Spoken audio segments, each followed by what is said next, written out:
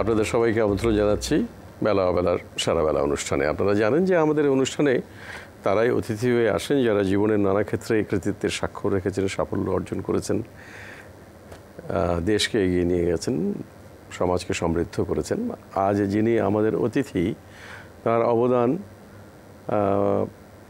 প্রত্নতাত্ত্বিক হিসেবে প্রত্ন সম্পদ অনুসন্ধান ও আবিষ্কারের ক্ষেত্রে তার যে অবদান, সেটি প্রায় কিংবদন্তি তুল্য।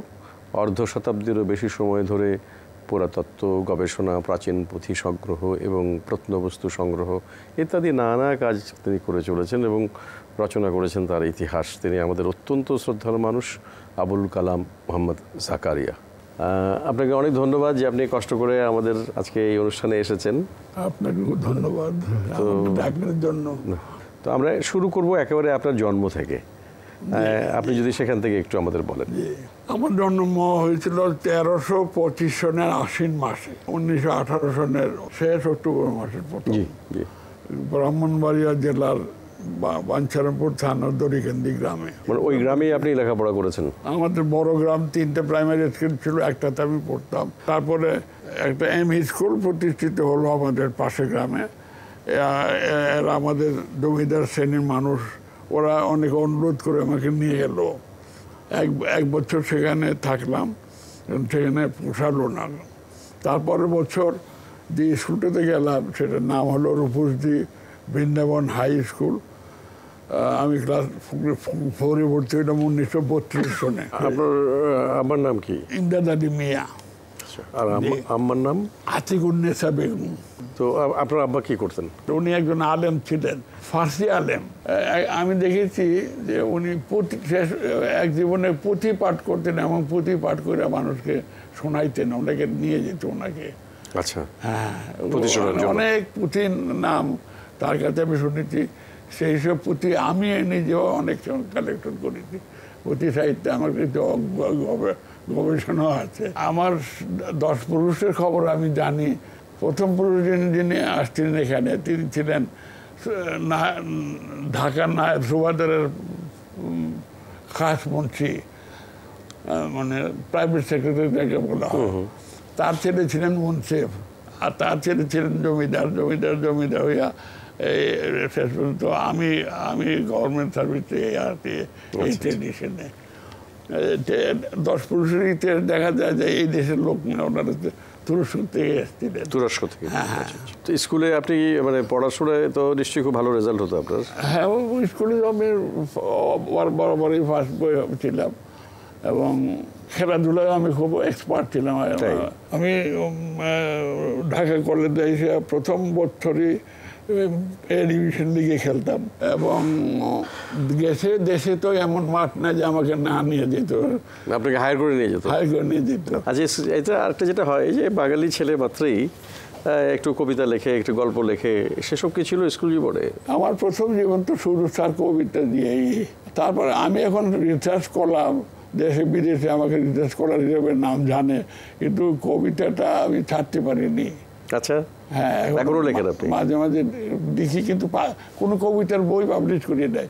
পঞ্চাশখানা বই আমি লিখেছি মোস্টলি রিসার্চ আর কয়েকখানা উপন্যাস। উপন্যাসগুলি পাবলিশ হয় নাই একটা শুধু পাবলিশ হয়েছে। রিসার্চ বই আমার সব পাবলিশ হয়ে গেছে। আমরা আপনাকে নিয়ে একটা ছোট্ট তথ্যচিত্র বানিয়েছি সেটা আমরা একটু দেখে নিই। প্রত্নসম্পদ অনুসন্ধান ও আবিষ্কারে নিবেদিত প্রাণ কিংবদন্তি আবুল কালাম মোহাম্মদ জাকারিয়া উনিশশো আঠারো সালের পহেলা অক্টোবর ব্রাহ্মণবাড়িয়ার বাঞ্ছারামপুর উপজেলার দড়িকান্দি গ্রামে জন্মগ্রহণ করেন। বাবা ইমদাদ আলী মিয়া এবং মা আতিকুন্নেসা বাবা ছিলেন ফার্সি ভাষার পণ্ডিত ও পুঁথি সংগ্রাহক। গ্রামের দরিকান্দি প্রাথমিক বিদ্যালয়ে মোহাম্মদ জাকারিয়া তার শিক্ষা জীবন আরম্ভ করেন। ছোটবেলা থেকেই অত্যন্ত মেধাবী এই মানুষটি উনিশশো উনচল্লিশ সালে রূপসদি বৃন্দাবন উচ্চ বিদ্যালয় থেকে প্রথম বিভাগে মেট্রিক পাশ করেন এবং ঢাকা কলেজ থেকে উনিশশো একচল্লিশ সালে মেধা তালিকায় দশম স্থান নিয়ে আইএ পাশ করেন। এরপর ভর্তি হন ঢাকা বিশ্ববিদ্যালয়ে ইংরেজি ভাষা ও সাহিত্য বিভাগে। সেখান থেকে উনিশশো চুয়াল্লিশ সালে অনার্স ও উনিশশো পঁয়তাল্লিশ সালে মাস্টার্স পাশ করেন। কর্মজীবন আরম্ভ হয় বগুড়ার আজিজুল হক কলেজের ইংরেজি ভাষা ও সাহিত্যের প্রভাষক হিসেবে। এরপর যোগ দেন সিভিল সার্ভিসে। উনিশশো সাতচল্লিশ সালে তিনি ডেপুটি ম্যাজিস্ট্রেট নিযুক্ত হন। প্রত্নতত্ত্বের প্রতি তার আগ্রহ কলেজ জীবন থেকে, তবে সিভিল সার্ভিসে যোগ দেবার পর থেকে সেই আগ্রহ নেশার মতো তাকে পেয়ে বসে। চাকরির ফাঁকে ফাঁকে চলতে থাকে তার শৌখিন প্রত্নতত্ত্বের চর্চা। তবে তার এই শৌখিন কার্যকলাপ ওই পেশার পেশাদারী ব্যক্তিত্বের চেয়েও সমৃদ্ধ। তার এসব শৌখিন কার্যকলাপের কারণেই আজ বাংলাদেশের পুরাতত্ত্বের ইতিহাসে সীতাকোট বিহার নামটি যুক্ত হয়েছে। তারই প্রচেষ্টায় প্রতিষ্ঠিত হয়েছে বাংলাদেশের তৃতীয় বৃহত্তম জাদুঘর দিনাজপুর মিউজিয়াম। তাঁরই ব্যক্তিগত উদ্যোগে সংগৃহীত হয়েছে অসংখ্য দুর্লভ প্রাচীন পুঁথি। নিজের কর্মময় জীবন ছাড়াও নিজের গবেষণা আবিষ্কারকে সবার সামনে তুলে ধরেছেন লেখনীর মাধ্যমে। এছাড়াও বহু ভাষাবিদ এই পণ্ডিত অনুবাদ করেছেন, বেশ কিছু মূল্যবান গ্রন্থ, গবেষণা, অনুবাদ ও মৌলিক রচনা মিলিয়ে তাঁর প্রকাশিত বইয়ের সংখ্যা অর্ধ শতাধিক গবেষণা ক্ষেত্রে তার অবদানের স্বীকৃতি স্বরূপ তিনি বাংলা একাডেমি পুরস্কার সহ বিভিন্ন সময় নানা পুরস্কার ও সম্মাননায় ভূষিত হয়েছেন। শতবর্ষের কাছাকাছি পৌঁছেও কাজের নেশা তাকে ছাড়েনি। এখনও নিয়মিত লেখালেখি করেন তিনি। অবসর কাটে বই পড়ে। কখনো টেলিভিশন দেখে কখনো বা স্ত্রী সন্তান ও নাতি নাতনিদের সাথে গল্প করে।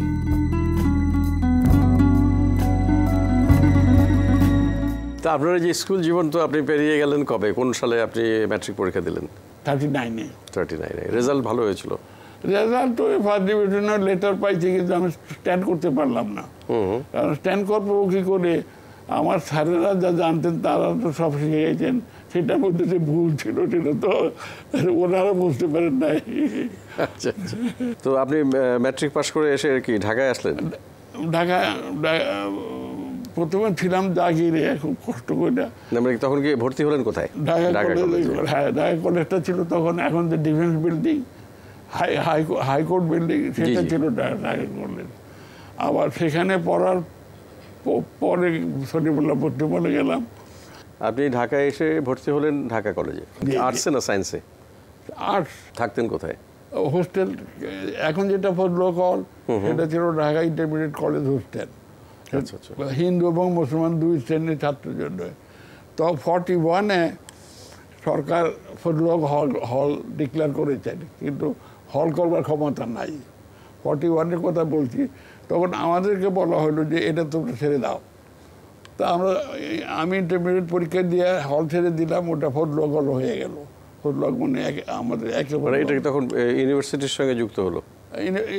যে যে ইউনিভার্সিটির সঙ্গে যুক্ত হয়ে গেলো। এটা গভর্নমেন্টের ছিল গভর্নমেন্ট দিয়ে দিল তখন। আচ্ছা আচ্ছা। ফর্টি ওয়ানে আমি ইন্টারমিডিয়েট পরীক্ষা দিয়ে সলিবল্লা ঢাকা ইউনিভার্সিটিতে ভর্তি আহ, ইংরেজি অনার্সের পর।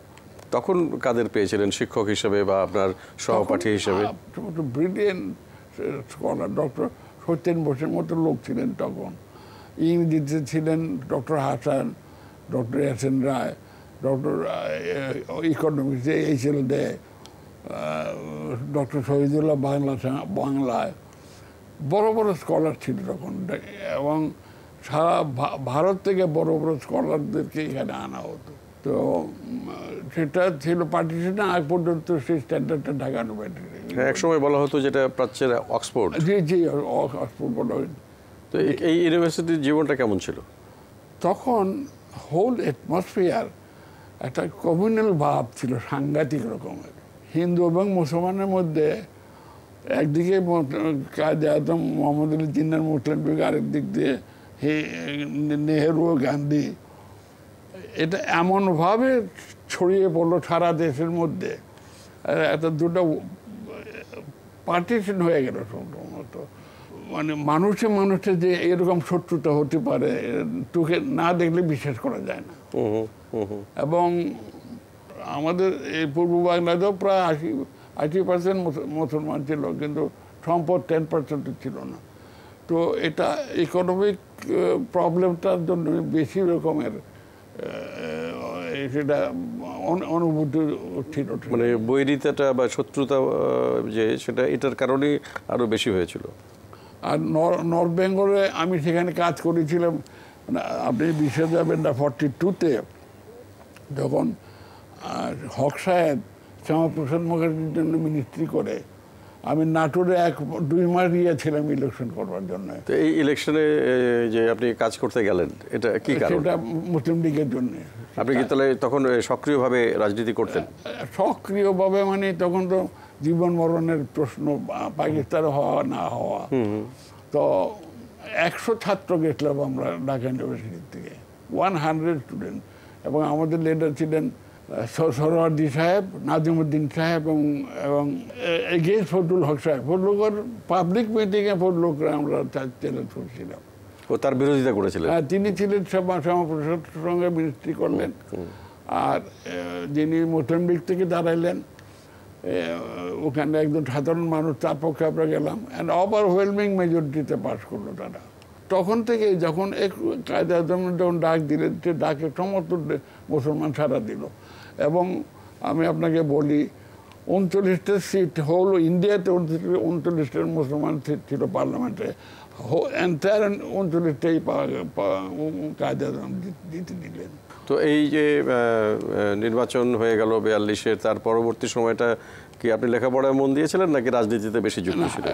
রাজনীতি যায়নি আমরা তো পড়ালেখা নিয়ে যে আরেক সময়টা হলো কি ফর্টি টুতে ফর্টি ওয়ানের ছোটবেলা হলে রেসিডেন্ট স্টুডেন্ট গেলাম ফর্টি টুতে রইলাম ফর্টি থ্রির মাঝামাঝি সময়ে আমাদের হল নিয়ে গেল। ওখানে মিলিটারি হসপিটাল হইল। আমাকে আমাদেরকে দেওয়া হলো যেটা মেডিকেল কলেজ সেটা ইউনিভার্সিটি বিল্ডিংয়ের নিচতলা ক্লাস ওপরতলা আমরা আমরা থাকতাম। তো যাই হোক এডুকেশন কেরিয়ার শেষ হলো, চোদ্দ শেষ হলো ফর্টি ফাইভে আমি এম এ পাস করলাম ফর্টি ফাইভে ফর্টি ফোরে অনার্স পাস করে অনেক কষ্ট করে রেজাল্ট আবার I miss first class for few marks both M A honours in English তো তখন আমি আজিজুল্লাহ কলেজে ভর্তি হইলাম লেকচারার প্রভাষক। বগুড়ায়? বগুড়া ওই সময় আপনার ইউনিভার্সিটিতে আপনার সহপাঠী কারা ছিলেন? একে মাহসানের নাম শুনেছেন? জি, আমার শফিউল আজম সে আসলে আমি পাঠ করল এম এ পাশ করার পরে আপনি বগুড়ায় গিয়ে সরকারি কলেজে যোগ দিলেন? না বেসরকারি কলেজ। তখন তো বেসরকারি ছিল। হ্যাঁ। কিন্তু আপনি সরকারি চাকরিতে গেলেন না কেন? কারণ আপনি যাদের নাম বললেন এ কে এম হাসান এবং শফিউল আজম এরা তো সরকারের খুব উচ্চ পদে ছিলেন। হ্যাঁ, তারা সরকারি পদে যাইতে পারে নাই। তখনও আমি যখন- পারেনি। আমি যখন ডিপটি হইলাম তখন তারা মনসেফ। আচ্ছা। হ্যাঁ সে আসান আমার তোর কবাডি ডিপটি হওয়া ছিল।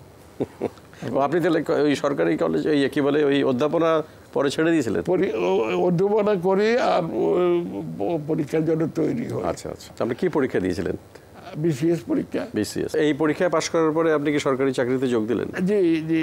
সেটা কোথায়? কবে? প্রথম গেলাম চিটগঙ্গে। কয়েক মাস পরে ঢাকা ট্রেনিং ক্যাম্পে আসলাম ফর্টি এইটে ট্রেনিংয়ের পরে আমি গেলাম ফরিদপুরে। ফরিদপুরে বছর দুই এক দুই ছিলাম সেখানে। And surprisingly enough I was the professional officer হিসাবে মাঝে মাঝে ডিসি অফিসিয়েট করতাম ডিপটি কমিশনার অফিসারটা এত স্ক্যারসিটি ছিল। মনে মনে হাসতাম তখন আমি ডিসি হয়ে গেছি। আর ডিসি হইতে লাগল আমার সিক্সটি এইটে গিয়ে আমি ডিসি হইলাম। তো এরপরে আপনি চাকরি সূত্রে কোথায় কোথায় গেলেন? ও এরপরে চাকরি সূত্রে গেলাম আমি তিনটা সাব ডিভিশন চিটাগংয়ে সাউথ নর্থ কক্সবাজার এই এই তিনটা সাব ডিভিশন আমি এজ এসডিও কাজ কাজ করেছি। কক্সবাজার যখন আমি এসডিও তখন আমি এই এই টুরিস্ট সেন্টার করি সেটা এখন। এখনও কক্সবাজারের লোকেরা আমার নাম করে।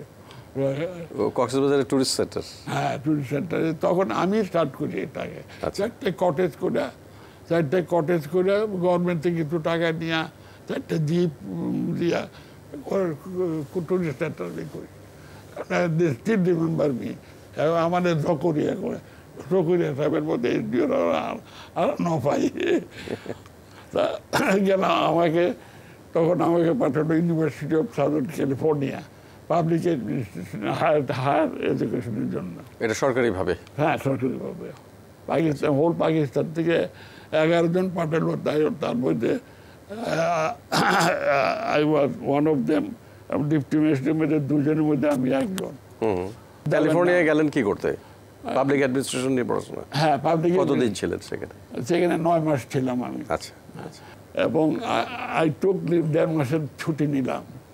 রোম গ্রিস ইংল্যান্ড এই সমস্ত জায়গা দেখলাম। মিডল ইস্টের বড় যে সমস্ত ইন্টারেস্টিং এই জায়গাগুলি আমি দেখলাম ছুটি এটা কি এমনি জাস্ট একজন মানে ভ্রমণকারী হিসেবে? হ্যাঁ একদম ভ্রমণের ছুটি নিলাম আমি। তো ওখান থেকে চলে আসলাম আসার পরে আমাকে পাঠালো দিনাজপুরে। জয়েন্ট কালেক্টর অফ রেভিনিউ মানে সেকেন্ড ম্যান রেভিনিউ কালেকশনে সেখানে আমি খুব ভালো কাজ করতে পারলাম এবং সারা, তখন আয়ুব খার মার্শাল ল হয়ে গেছে অলরেডি পাকিস্তানে সবচেয়ে হাইয়েস্ট কালেকশন হলো আমার। তো আমাকে সেখান থেকে প্রিমেচুর প্রমোশন দিয়ে এডিএম করে পাঠালো ময়মনসিংহে এডিএম থাকাকালে চিফ সেক্রেটারি আমাকে একদিন ডাকে বলল যে দেখো আমরা তো এক মহাবিপদে পড়ছি আমাদের কোশ্চেন পেপার সব আউট হয়ে যায় যে প্রেস থেকে। তবে আমার কথা হলো যে আমার কথাপত্র পরীক্ষা পরে দিতে হবে। কি সেটা? আমি বললাম যে কোনো বোর্ডের নাম থাকবে না কোশ্চেন পেপারে। A B C D X Y থাকবে।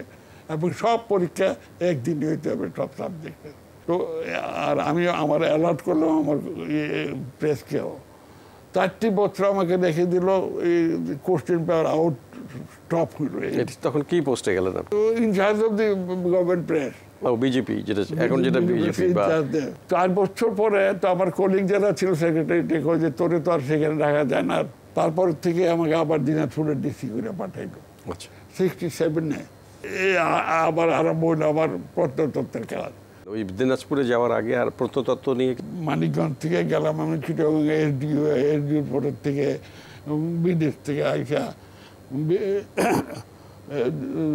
রেভিনিউর কাজ করলাম। তারপর দিনাজপুর ডিসি হয়ে যাওয়ার পর থেকে আমার আই এক্সপোজ মাইসেলফ তখন কীভাবে শুরু করলেন? তো তখন সারা জেলায় আমি ঘুরি।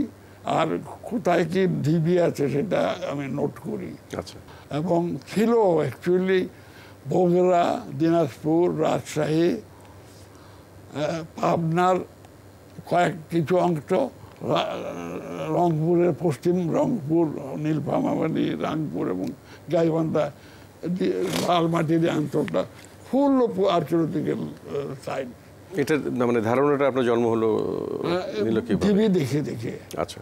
ঢিবি এবং প্রাচীন পুকুর দেখি আর্কিওলজি আপনার যে মানে গবেষণা এই গবেষণাটা তো আপনি হাতে কলমে শুরু করলেন দিনাজপুর থাকাকালীনই। জি জি জি জি। এবং সেটা কি আপনি শুধু ওই যে জায়গাগুলো চিহ্নিত করার মধ্যে সীমাবদ্ধ থাকল না নাকি না এ- খনন কাজ করাইছি আমি। আপনি কীভাবে কারা করলেন এটা? এদেরকে পার্সুয়েট করে। এই আর্কিওলজিকে হ্যাঁ আর্কিওলজি তখন কি কি পাওয়া গেল ওখানে? বিভিন্ন জায়গার মধ্যে কোথায় কোথায় করেছিলেন দিনাজপুরের বগুড়াতে দিনাজপুরে।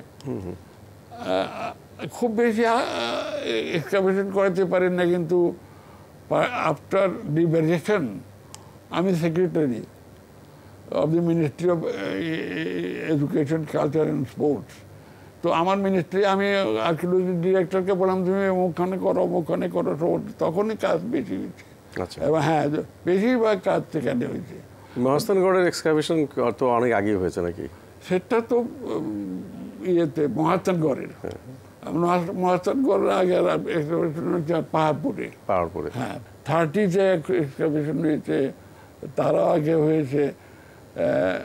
সেগুলিকে আবার নতুন করে আমি এক্সকাভেশন করাইছি ওদেরকে দিয়ে। প্রত্যেকটা জেলাতে কি আছে না আছে সমস্ত কয়টাকে আমি আমি তালিকা করেছেন। তালিকা করে বর্ণনা দিয়েছি। এই সব করার করতে গিয়ে কি আপনি এটা নিয়ে পড়াশোনা শুরু করলেন? হ্যাঁ পড়াশোনা করেছি আমি। এই নিয়ে পড়াশোনার চাইতে বেশি হইল আপনার এগুলি দেখা। এই যে এখন যেটা এক্সকাভেশন হচ্ছে বা যেগুলো কনজারভেশন হচ্ছে বা রেস্টোরেশন হচ্ছে এগুলো কি ঠিকভাবে হচ্ছে বা এতদিন যেভাবে হয়ে এসছে? এখন দ- দশ নম্বরই দিয়ে ওরা রিপেয়ার করতেছে। ওই যে আগের টেরাকোটা ফেলে দিয়ে ওরা দশ নম্বরই দিয়ে করে এখন।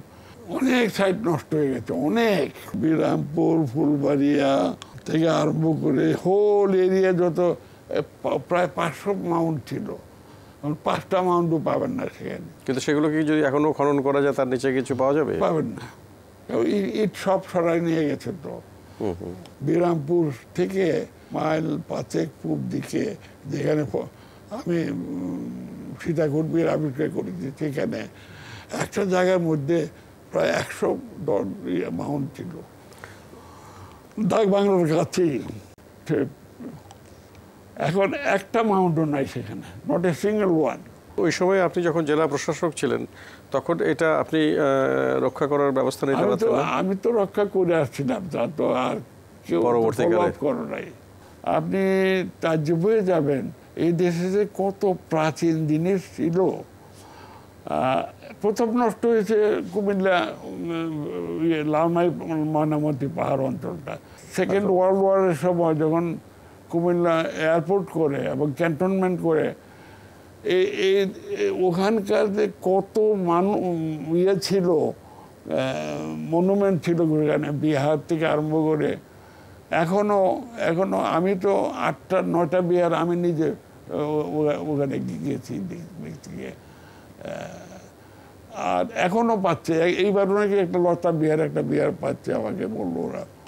ওখানে যে যেসব মূর্তি পাওয়া গেছে একটা মূর্তি নিয়ে এক, যেটা ফ্রান্সে নিয়ে নিয়ে গেছিল সেটা লাকিলি ফরাস অনেক যুদ্ধ করে আমরা এটাকে ফেরত আনতে পারছি। আমরা প্রত্নতত্ত্ব নিয়ে আবারও কথা বলব কিন্তু তার আগে আপনার চাকরি জীবনটার কথা আরেকটু শুনে নেই। যে চাকরি জীবন আপনার এই- এইভাবে আপনি কোন পর্যন্ত গেলেন এবং কোথায় গিয়ে শেষ ও, করলেন ডিসি হইলাম তো ডিসি হওয়ার পরে আমাকে সিডিএ চেয়ারম্যান করে নিয়ে গেল ওখানে। সেভেন সিক্সটি নাইনে। সেভেন্টি ওয়ানে লাগল যুদ্ধ। এই যুদ্ধটা আমার উপর দিয়ে গেছে। সেভেন্টি ওয়ানে আপনি কোথায় ছিলেন একাত্তর সালে? সেটা মানে সিডিএ চেয়ারম্যান আমি আচ্ছা। ডেভেলপমেন্ট অথরিটির চেয়ারম্যান। আচ্ছা। তো আমাদের তো কোথাও যাওয়ার উপায় ছিল না। গেলে বার্মা যেতে পারতাম? তো বার্মা গিয়ে কী করব আমরা? যুদ্ধটা আমাদের উপর দিয়ে গেল। দুই দুইটা ভীতি। একটা হলো পাকিস্তানের বাইরে ফেলবে, আর আর এই দেশের লোক যারা মুক্তিযুদ্ধ তারা, তোমরা কেন এখানে চাকরি করো, যাওয়া যাবে না কেন? তো দুই ভীতিতে ছিলাম, যা হোক কোনো রকম বেঁচে উঠলাম। যুদ্ধের পরপরই আ- আমাকে joint secretary of ministry of education culture and sports appoint করল and in charge of the ministry কালো কালক্রমে পরে অবশ্যই সেক্রেটারি হইলাম। আমার চাকরির দেড় বছর থাকতেই আমি সুনজরে বললাম, জিয়াউর রহমান সাহেবের ওনাকে নালিশ করে দেয় আমি নাকি ডিসঅনেস্ট। আমাকে উইদাউট এনি নোটিস, আমাকে আমি তখন ভলিবল ফেডারেশনের প্রেসিডেন্ট হিসেবে গেছি কুষ্টিয়া। খেলার খেলা চালাচ্ছি, এমন সময় খবরের কাগজ দেখা গেল যে আমাকে রিটায়ার করে দিতে আপনার বিরুদ্ধে এই আক্রোশটা কেন? এই যে আমি লাগলাম তার বিরুদ্ধে সে বলছে যে ও ক্যাম্পে থাকে আমি দেখব। আমা আমাকে ডিজনের আপনি তখন কোন মন্ত্রণালয়ের দায়িত্বে আমি সেটাই এডুকেশন নেই। আচ্ছা তখন জাদুঘর আপনার মন্ত্রণালয়ের হ্যাঁ অধীনে আমার আন্ডারেই আচ্ছা।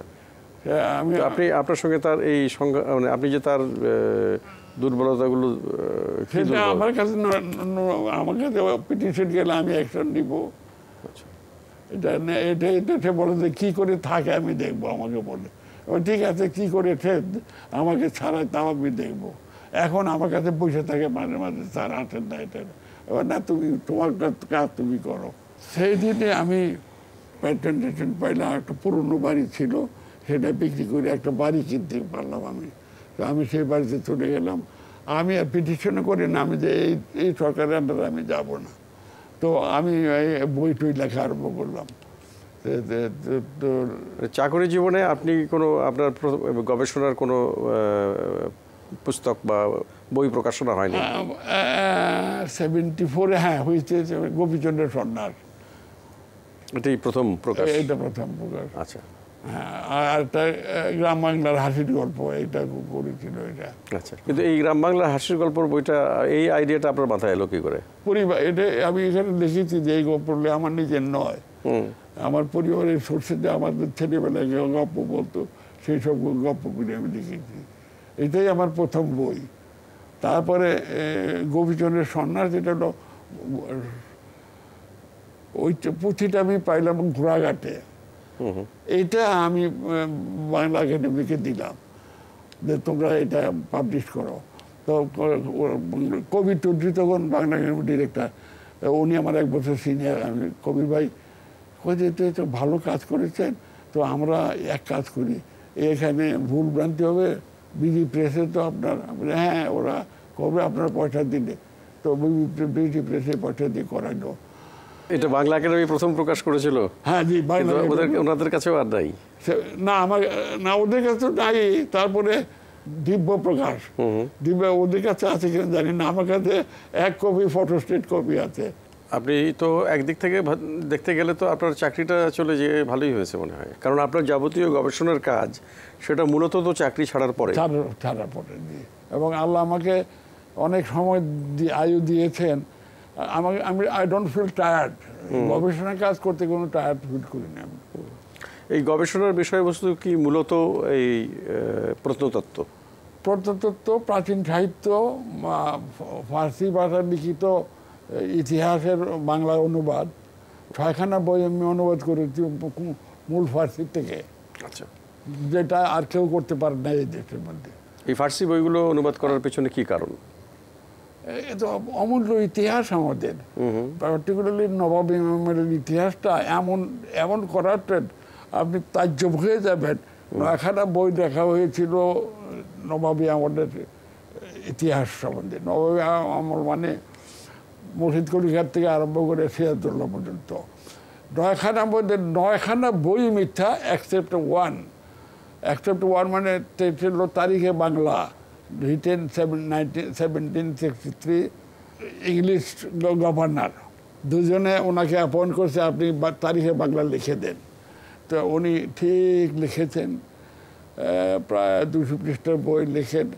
যেদিন নবাব আলিবুদ্দি মারা গেছেন বারোই জুন বারোই জুন সতেরোশো ছাপ্পান্ন সেই দিনই উনি আল্লাহ আল্লাহর মধ্যে ওখানে কলম বন্ধ করে দিতে গেলে ইতিহাস আর লেখেন নাই। কি কারণে? সে উনি বানানো ইতিহাস লেখেন নাই। আর সিরাজউদ্দৌল্লা সম্বন্ধে একটি কথাও লেখেন নাই। পলাশি যুদ্ধ সম্বন্ধে একটি কথাও লেখেন নাই। আচ্ছা। এবং দে- সেই বইটা আমি অনুবাদ করতে পারি না বলে আমার খুব মনে কষ্ট কারণ আমি এখন এইসব কাজে এত ব্যস্ত হয়ে পড়ছিলাম। এখন দুজন মুরব্বীরে দিচ্ছি যে তোমরা একটা খারাপ করে দাও বাকিটা আমি করে দেবো রে কম্পেয়ার করে। এখন চেষ্টা করতেছি ওর মধ্যে মূল্যবান এটাই যে অমিশন নট কমিশন উনি যে লেখেন নাই সেটাই মূল্যবান কথা। যে উনি বানানো ইতিহাস লিখে লেখেন নাই। কারণ আর বাকি নজনই ছিয়াত্তর মানুষ নেওয়া মানুষ করে বলে চেনেছেন ইনক্লুডিং ইজ আপন খালাতো ভাই। তো আমরা তো ফার্সির কথা শুনলাম। তো প্রত্নতত্ত্ব নিয়ে আপনার যে গবেষণা এগুলো বিষয়গুলো মূলত কি? দেখেন সারা পৃথিবীর সব না আমি দেখতে পারি না। যত দেখেছি আমি আফ্রিকাতে ইয়ে, পিরামিড টিরামিড দেখেছি বড়বধূ গেছি ইয়ে, যে যতখানে সুযোগ পাইছি আমি তো I was secretary culture and education সেগুলো দেখে এসছি। একটা ঘটনা শুনলে আপনি তাজ্য হয়ে যাবেন। তারপর বিহারে গেছেন আপনি? হ্যাঁ গেছে। আচ্ছা।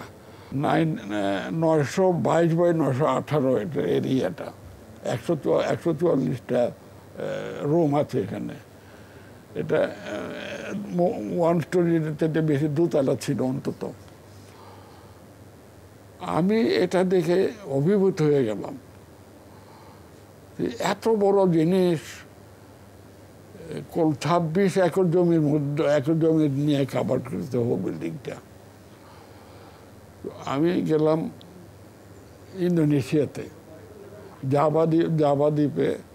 তো সেখান থেকে আমাদেরকে অফার দেওয়া হলো যেমন তোমরা বালি দ্বীপে যা, বালি দ্বীপে যেতে পারো বা একদিনের ছুটি। বালি দ্বীপে নিয়ে যাব, আর না হয় বড় বধুর টেম্পল বুদ্ধিস্ট টেম্পল আমি বললাম, আমি এই উন্মুক্ত বুক দেখবার জন্য আমি এদের আমি আসি নাই। আমাকে আমি আমি বড় বধু গেলাম। I was taken aback যে যে প্যাটার্নে আমাদের এই পাহাড়পুর বিহার সৃষ্টি এক্স্যাক্টলি তার প্রোটোটাইপ এক্স্যাক্টলি প্রোটোটাইপ চারটে উপরতলা দিয়ে চারটে রুম আপনি দেখেছেন। সেখানে ঠিক সেই চারটে রুম সেখানে আছে। টেরাকোটাগুলি এদেরটা পাথরের আর আমাদেরটা মাটির মানে পরে কেউ কেউ কেউ বলে যে, ওইটা দেখে এটা করতে যায় আমি বিশ্বাস করি না। পরে ওদের বই ইতিহাস পড়ে দেখলাম টেন্থ সেঞ্চুরিতে ইন্দোনেশিয়ার রাজা ইঞ্জিনিয়ার পাঠালেন। সেই ইঞ্জিনিয়ারটা দেখে এক্স্যাক্টলি ওখানে গিয়া Prambanan and Borobudur largest Buddhist temple in the world Borobudur আপনি জাপা দ্বীপের নাম আমি নামটা জানি কিন্তু আমার কখনো দেখার সুযোগ হয়নি। কিন্তু ওইটা ও whole day I spend over there and I was taken aback যে আমার বাংলাদেশের কীর্তি সেখানে গিয়ে স্থান পেয়েছে। এবং তখন থেকে যে আমার যে একটা ইন্টারেস্ট ডেভেলপমেন্ট করল এর আগে আমি নৃতত্ত্বের উপর কাজ করতেছিলাম। তা নৃতত্ত্বের উপর এখন আমি কাজ করি আমি একটা বইও লিখেছি নৃতত্ত্বের উপর বাঙালির নৃতাত্ত্বিক পরিচিতি। আপনার কাছে হয়তো জানাই যে বইটা। এসব নিয়ে আপনার গবেষণা গ্রন্থ অনেকগুলো? আমি তো প- প্রত্নতত্ত্বে নয়টা বই লিখেছি। এবং আমার লাস্ট বই হচ্ছে archaeological heritage of Bangladesh Asiatic society publish করেছে। আপনি উপন্যাসও তো লিখেছেন। যা। এটা কেন? আমি একদিকে আপনার মানে প্রত্নতত্ত্ব এবং ফার্সি আবার উপন্যাসটার দিকে কীভাবে গেলেন? দেখেন আল্লাহ আমার অনেক গুণ দিয়েছে কারণ সবার সবটা আমি প্রকাশ করতে পারি না। এই উপন্যাসটা একটা উপন্যাস শুধু পাবলিশ হয়েছে আর উপন্যাসটা কাউকে বলিও না পাবলিশ করার জন্য। দেখি এখন যদি বাইচে থাকি তো করব। আপনি কবিতাও লেখেন। কিন্তু। কোনো কাব্যগ্রন্থ প্রকাশিত হয়নি। কর করে না একটা করব এখন কি কাজ নিয়ে আপনি ব্যস্ত? এখন দুইটা বই নতুন আর দশটা বই পুরনো। আগের বই সেগুলিকে কমপ্লিট করতে দিয়েছে। আজকে তো আপনার কাছে আসবার আগে প্রুফ দেখতেছিলাম আচ্ছা এইসব নিয়ে এখন ব্যস্ত আছেন এই মুহূর্তে। আমরা কি একটু পারিবারিক জীবনে যদি যাই আপনার? ধরুন আপনি বিয়ে করলেন কবে প্রথম? অনেক ভুল বুঝাবুঝি হয়। আমি তিনটে বিয়ে করেছি জীবনে। প্রথম বিয়ে হয় উনিশশো উনচল্লিশ সনে আমাদের আত্মীয়র মধ্যেই হুম। যে সেটা সামার টিকে নাই। সেকেন্ড বিয়ে করি ফর্টি নাইনে। সেটাও টিকে নাই। ওনার সন্তান আমাকে দিয়ে গেছেন। সন্তানরা এখন আমার কাছে আছেন। থার্ড বিয়ে করেছে সেভেন্টি সেভেনে। উনি চলে গেছেন আমাকে সেভেন্টি সিক্সে ছেড়ে। তো আজকে উনচল্লিশ আটত্রিশ বছর আমার তৃতীয়টি আছেন আপনার ছেলে মেয়ে কয়জন? আমার তিন মেয়ে দুই ছেলে। ওরা কি করে? বড় মেয়ে এম এ পাস করে হাউস ওয়াইফ দুটো ছেলেকে মানুষ করেছেন ওনার নিজেরই। দ্বিতীয় মেয়ে এম বিএস ডক্টর তার নাম জাকিয়া মাহফুজা হাসান। ডক্টর হাসানের নাম শুনেছেন বোধ হয় যে মুক্তিযুদ্ধের সমস্ত কালেকশন হ্যাঁ, চিনি আমি তাকে। সেটা আমার মেজু জামাই। খুব ভালো করেই চিনি তাকে। হ্যাঁ তৃতীয় মেয়েটি ডিপটি ডিপটি চিফ প্ল্যানিং বড় ছেলেটি সে আনএমপ্লয়েড নাও একটু ভুলভ্রান্তি করে জীবনে এখন খুব কষ্টে আছে। দিয়ে দ্বিতীয় ছেলেটি সে কনসালটেন্ট প্ল্যানিংয়ের আর তৃতীয় ছেলেটি সাড়ে এগারো বছর বয়সে একটা কবিতার বই লিখে মারা গেছে। আমার আমার তৃতীয় ওয়াইফের ছেলে। অত্যন্ত ব্রেইলি ছাত্র ছিল। আপনি আপনার সংসারে এখন আপনি আপনি আর কি কে আছেন? আমি আর আর আমার থার্ড ওয়াইফ আচ্ছা, আপনারা- সব সেপারেট আর ছেলেমেয়েরা তাদের মতো করে থাকেন? শুধু মেয়েদের দুই ফ্ল্যাটের দুই ছেলেকে দিয়ে দিয়েছি। মেয়েদের বাড়ি আছে তাদের নিজস্ব বাড়ি আছে তারা আছে ভালো আপনার কিছু পরিচিত মানুষ আপনার বন্ধু বান্ধব বা আপনার শুভাকাঙ্ক্ষী তারা আপনার সম্পর্কে কিছু কথা বলেছেন। সেগুলো আমরা একটু দেখে নিই। স্বামী হিসাবে খুবই ভালো মানুষ তবে ফ্যামিলির প্রতি অ্যাটেনশনটা কম ওনার। বইয়ের দিকেই বেশি নেশা। কখনোই উনি হাত গুটায় এক মিনিটের জন্য বসে থাকে না। হয় লিখালিখি নাহলে পেপার পড়া নাইলে বাগান করা, কিছু না কিছু একটা কাজ করতেই থাকে। ওনার লেখালেখি নিয়ে বেশি থাকাটা আমি পছন্দ করি না। এমনি মানুষ হিসাবে উনি এক খুবই একটা ভালো মানুষ। আসলে বাবার সম্বন্ধে বলতে গেলে অনেক কথাই আসে। আমাদের ছোটবেলার বাবাকে নিয়ে যে আমাদের সময়, সেগুলি অনেক সুন্দর। আব্বা খুব ভালো শিকার করতেন। আব্বা রাইফেল নিয়ে সবসময় বন্দুক থাকতো তার সাথে এসব ইতে যখন আমরা বাইরে যেতাম। এবং আব্বার সবচেয়ে বড় জিনিস জিনিস যেটা আব্বা খুব মানে অনেস্টলি তার লাইফ লিড করছেন। আমরা অনুভব করি যে আমাদের বাবা একজন বিশাল ব্যক্তিত্বের মানুষ এবং উনি আমাদের একটা গর্বের বিষয়। আমরা তাকে নিয়ে গর্ব করি, আমরা সব ভাই বোনরাই তাকে নিয়ে বিশাল গর্ব করি। আমি একবার আব্বাকে জিজ্ঞাসা করেছিলাম যখন অনেক ছোট ছিলাম যে, আব্বা, আপনি একটা ডিকশনারি লেখেন না কেন? আমার কাছে মনে হতো ডিকশনারিতে যত শব্দ আছে, যত জ্ঞান ভাণ্ডার আছে, আব্বা বুঝি তার থেকেও অনেক বেশি বড়। বেশভূষা বিলাস ব্যাসন বাড়িতে শৌখিন দ্রব্য এসবের আমদানি না থাকলেও আব্বার একটা নীতি ছিল যে আমি যতটুকু আমার সামর্থ্য আছে সেটা অন্য বিলাস ব্যাসনে ব্যয় না করে আমি সেটা বই বা জ্ঞানার্জনের পথে ব্যয় করব। সবচেয়ে বড় কথা কি আমরা যেটা দেখি যে বয়স হয়ে গেলে মানুষ সন্তানদের প্রতি নির্ভরশীল থাকে, মানসিকভাবে অনেক রকমভাবে। কিন্তু উনি আশ্চর্যজনকভাবে কারোর প্রতি উনি নির্ভরশীল নন। ওনার ব্যক্তিগত জীবনেই উনি স্বয়ংসম্পূর্ণ।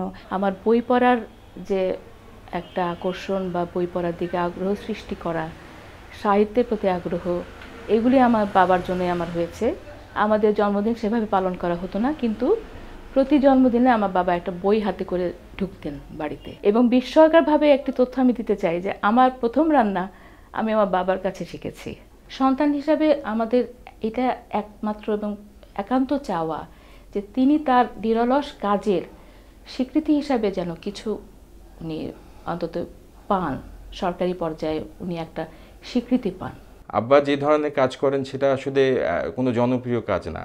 এটা একটা আব্বার মূল্যায়ন না হওয়ার একটা কারণ মনে করি যে এটা আসলে যারা গবেষণা করেন তাদের কাজে লাগে বা যারা এগুলো নিয়ে সিরিয়াস আলোচনা করেন যেটা আসলে দেশের কাজে লাগবে, লাগছে।